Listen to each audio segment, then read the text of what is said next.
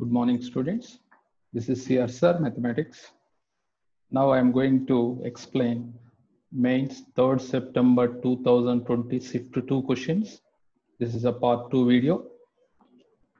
Still now not subscribed my channel. Please subscribe the channel, like and share to your friends. Whenever I will upload the videos, you will get first notification. This is the seventh question. This is ellipse hyperbola related problem x square by 25 plus y square by b square is equal to 1 x square by 16 minus y square by b square is equal to 1 are ellipse and hyperbola respectively such that e1 e2 is equal to 1 so here this is important. Product of both the eccentricities is equal to 1 next uh, if distance between foci of ellipse is alpha and uh, distance between foci of hyperbola is beta then alpha comma beta. First, we need to find eccentricity of ellipse and hyperbola. First, E1. E1 is equal to under root here 25 minus b square by 25. This formula already we know that. E2 hyperbola under root this is 16 plus b square by 60. Now product of both the ellipse, one given now. So E1, E2 is equal to 1 and apply the square E1 square into E2 square also 1. So what is E1 square? That is here 25 by 25 1 minus b square by 25 into what is e2 square 1 plus b square by 16 that is equal to 1 now multiply these two. What happens? See 1 into 1 1 plus b square by 16 minus b square by 25 plus so minus into minus minus into plus minus b power 4 divided by 25 into 16 that is equal to 1 now observe the calculation. 1 1 is going to cancel. Here take the LCM 16 into 25 is LCM. Next, 25 b square minus 16 b square that is equal to b power 4 divided by 16 into 25. So 16 into 25, 16 into 25 cancel. 25 b square minus 16 b square, 9 b square and b square also is going to cancel. We get finally b square value is 9. So we got that b square of ellipse and hyperbola. Now what we have to find uh, E alpha. What is alpha here? Alpha is distance between foci. Distance between foci formula 2AE 2AE. And here, observe that uh, what is E1? This alpha is equal to 2AE1 and beta is equal to 2AE2. So first we need to find E1 and E2. So E1 is equal to, in place of B square, substitute 9, 25 minus 9, 16, root 16 by 25 that is 4 by 5 and find e2 also. E2 is equal to in place of uh, b square substitute 9 uh, 16 plus 9 25 by 16 under root. That is we get 5 by 4 already we know that product of e1 e2 is equal to 1 given. Now what is alpha? 2 a. A. What is the a value? Observe that 5 5 into E1 4 by 5. 5 5 cancel that is 8. Now beta. Beta means 2. A means by observing the ellipse A value is 4 into E2 5 by 4. 4 4 cancel that is equal to 10. So finally ordered pair alpha comma beta is equal to 8 comma 10. So this is also easy question in geometry. Next I am going to another question.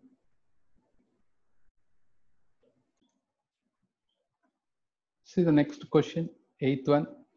M arithmetic means and three geometric means are inserted between 3 and 243. So here in between 3 and 243, they are inserted m arithmetic means a1, a2, and so on, am, comma 243. And same like that, in between 3 and 243, they are inserted three geometric means G1, G2, and G3, comma 243. So here, uh, what we need to find second geometric mean is equal to fourth arithmetic mean. Then find m value. First, we need to find difference in arithmetic mean. What is the difference formula here? b minus a by n plus 1 if inserted n arithmetic means. So here b is 243 minus a means 3 but here m arithmetic means are inserted. That is m plus 1 and go to the geometric uh, mean. What is the common ratio? b divided by a whole power 1 by n plus 1 there n arithmetic means are inserted. But here only three arithmetic uh, geometric means are inserted. That is 1 by 3 plus 1 we get. Now calculate this. This is 81 whole power 1 by 4 81 means 3 power 4 we get r value 3 but d value observe this 243 minus 3 by m plus 1 240 divided by m plus 1 this is d. Now what they are given? Second geometric mean that is equal to 4 arithmetic mean. That means a4 i'm writing. So second geometric mean means this is uh, a this is ar this is ar square. This is second geometric mean. Here this is a this is a plus d a plus 3d and 2d a plus 3d a plus 4d 4 arithmetic mean 1 2 3 4 so second geometric mean means ar square. That is equal to a plus 4d 4d or 3d so Four D. Then what is A value here? A value means first term, that is 3 only. So here R value is 3 and D also we know that just to substitute those values, we get answer easily. A means 3, R means 3, that is 3 square, that is equal to A 3 plus 4 into D means 240 divided by M plus 1. Now calculate here 3 square 9, 9 3s are 27. 3 send that side 27 minus 3 we get 24.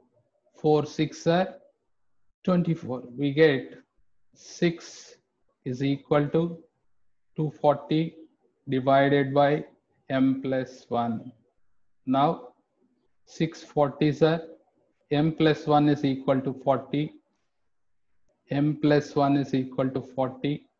Finally, What is the M value? 39. This is the answer. So this is also easy question. But uh, arithmetic mean, geometric mean related concept, we have to remember it. Next, I am going to discuss that another question. Now, see the question here. The coefficient of term independent of x in the expansion of 3x square by 2 minus 1 by 3x whole power 9 is lambda. Then 18 lambda is equal. So here they are given independent term. How to find R value? This is the formula. NP divided by P plus Q. What is N? N is 9.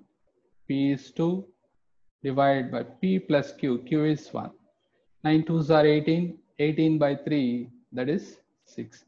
R value is 6. So independent term in that expansion, that is lambda given. Lambda is equal to, use that R value is 6. So 9C6, 3 by 2, whole power 9 minus 6, minus 1 by 3, whole power 6. So here, do the calculation, we get answer easily. 9C6 means that is 9C3, 9, 8, 7, 3, 2, 1. Now here 3 cube divided by 2 cube into 1 by 3 power 6. Now observe the calculation. What we get 2 cube means 8. 8, 8 cancel. Next uh, 3 cube here uh, 3 and this is a 3 square. Totally 3 power 5 is going to cancel. Remaining is we get uh, 7 by 18. But they are asking 18 lambda. Take cross multiplication. 18 lambda is equal to 7. I think this is an integer type of problem. Okay. This is also easy only. Next, I am going to discuss that complex number related problem. Here observe that what they are given conditions. If mod z1 minus 1 is equal to real part of z1 given. So take here z1 is equal to x1 plus iy1. Similarly, z2 is equal to x2, x2 plus i y2. So modulus of z1 minus 1.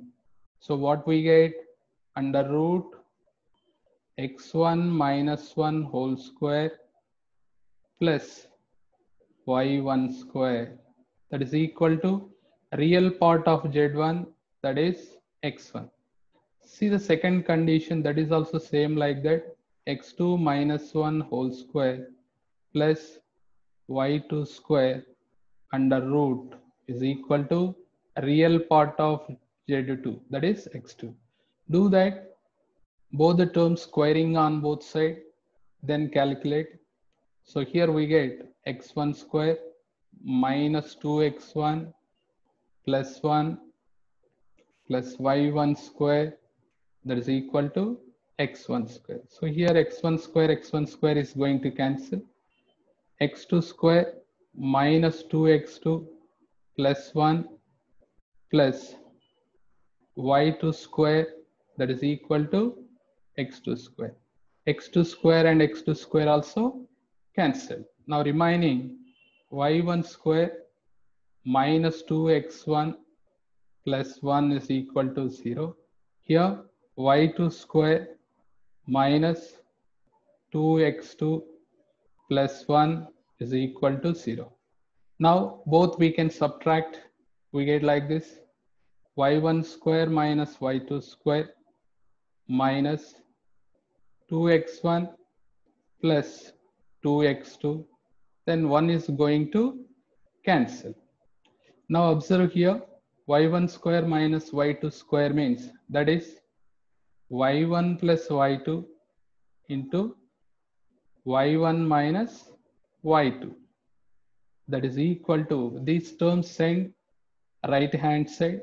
So what we get that is 2 into x1 minus x2 this is next. Next here observe that y1 plus y2 that is equal to 2 into we get x1 minus x2 divided by y1 minus y2 next. Go to the question? In the question one more condition given. Argument of z1 minus z2 is equal to pi by 3 now argument of z1 minus z2 that is x1 minus x2 plus i into y1 minus y2 this is uh, argument of z1 minus z2 that is equal to pi by 3 argument means we know that formula tan inverse of what?